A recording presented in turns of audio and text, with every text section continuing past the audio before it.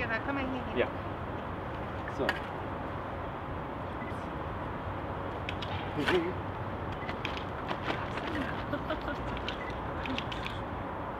Der schief, also der steht schief, der Baum. Ja, das ist gemacht.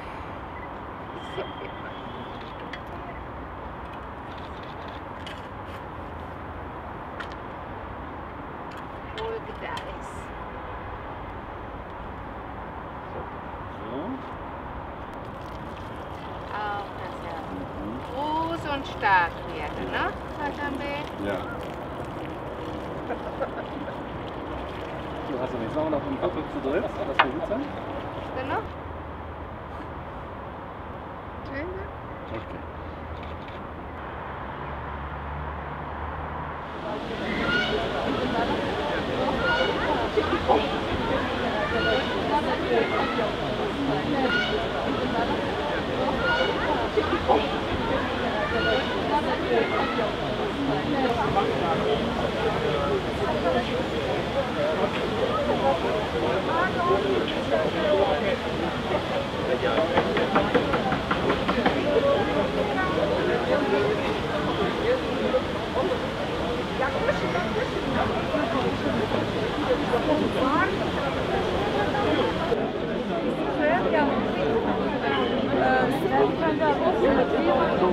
Biliyorum ama ben de söyledim önce. Sayıyla. Sera gazı oluşumunu büyük miktarda azaltmak. Yanlış, yanlış.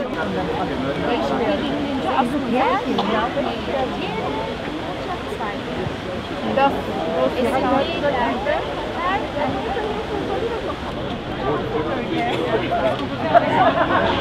Non mais non non il faut il faut un exemplaire. Avoir suffisamment après pour qu'on puisse regarder l'endroit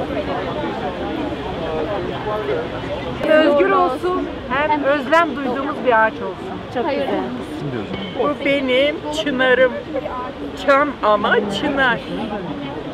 Öptüm onu. Şimdiki sorularda yanlış yanıtı bulmanız gerekiyor. Birinci sorumuz iklim değişikliğinde yaşam şeklimizi tehdit eder.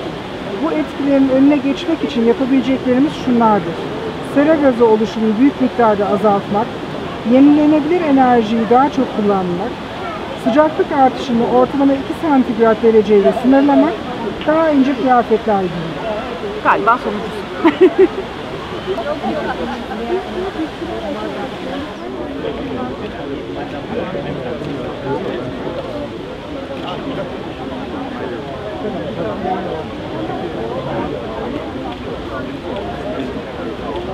sonuncusu. Nein, nein, there is.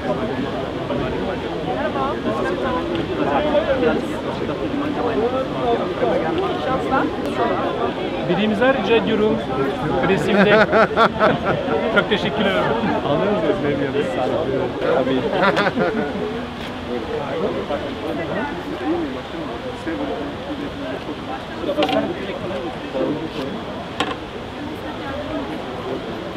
Moi je vais. Euh, je. Euh, Pour les petits, hein.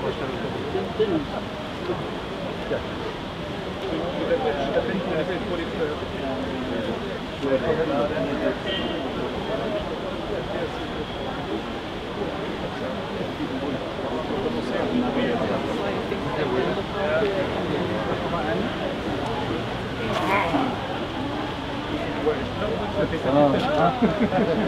Germany fishing. you saw that? You saw how to do it? Daniel?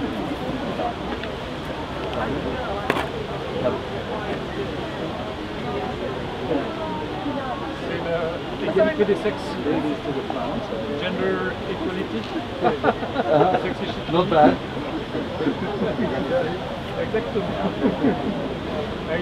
In a way, don't, don't put it there. That was ours, huh? you go, go ahead. Go ahead.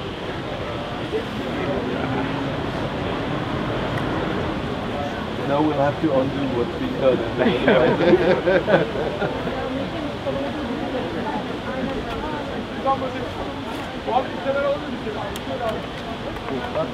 The EU delegation is for the beauty and everything. Teşekkür Last touch.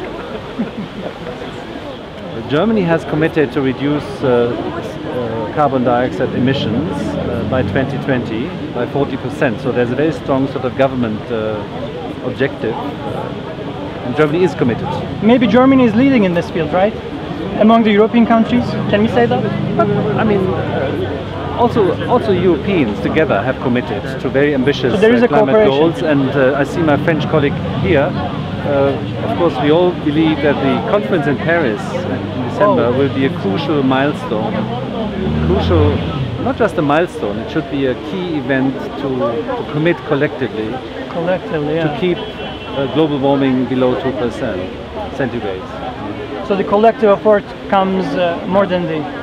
Germany, I believe, is very committed. EU is committed, and but we need a global commitment, and there we are really trying to work also to raise awareness with a view to the Paris conference.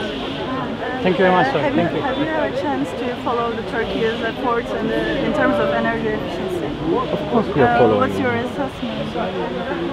Well, I think there is awareness in Turkey increasingly. Um, I mean, we are planting trees today, and at the same time, we are seeing also efforts by government to uh, for reforestation. Turkey is a, an economy which is growing uh, rather quickly with young population, so there is an effect also on energy consumption and carbon di- dioxide emission.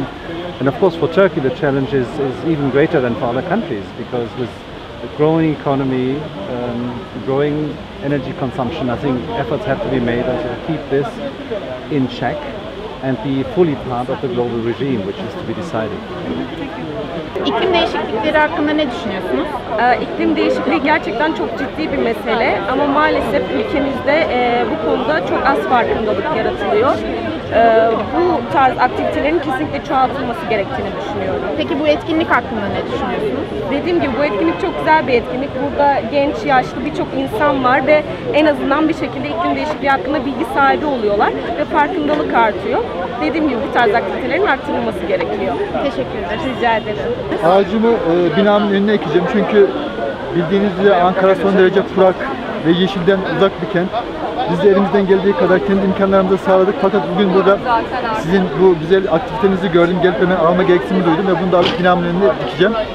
Umarım daha güzel, daha yaşanabilir, daha yeşil bir dünya ve kentimiz olur. Hepinize çok teşekkür ediyorum. Peki bu görevin her vatandaşa düştüğünü düşünüyor musunuz? Tabii ki yani e, dünyayı kurtarmak zaten biz insanoğlunun elinde. Bunun için de üzerimize düşen ne varsa, ne katkı sağlamamız gerekiyorsa hepsini yapmamız lazım.